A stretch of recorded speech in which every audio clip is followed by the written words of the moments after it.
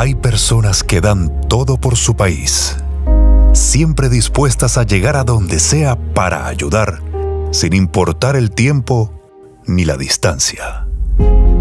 Así son los hombres y mujeres de la nueva Fuerza Armada, que sirven incondicionalmente a nuestro país. Es una Fuerza Armada joven, nacida después de la Guerra Civil. Esta es la nueva Fuerza Armada, que a diferencia de antes, hoy toca la puerta de los salvadoreños para llevar ayuda. Camina por los pueblos para dar seguridad. Va a los campos para cuidar nuestras cosechas. Y también ayuda a combatir los problemas en nuestro país. Se ha desplegado por todo el territorio junto a nuestros policías para mantener el plan control territorial y la histórica reducción de homicidios y otros ilícitos.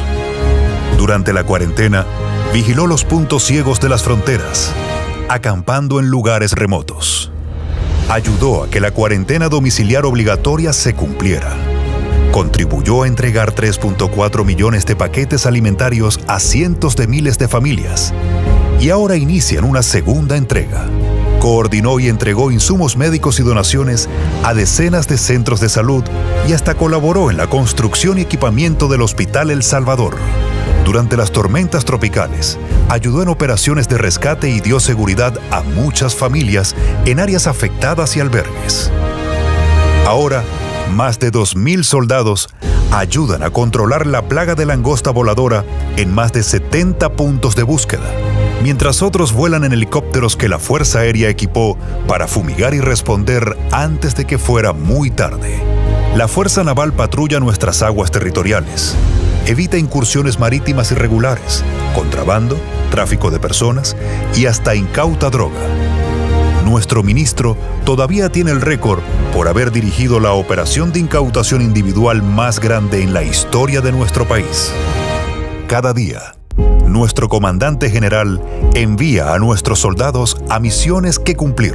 Por eso, debemos procurar su mejor desempeño y compromiso con nuestro país nuestro gobierno subió sus salarios por primera vez en 12 años y les dio mejor equipo para sus tareas diarias, para proteger sus vidas y las de los demás.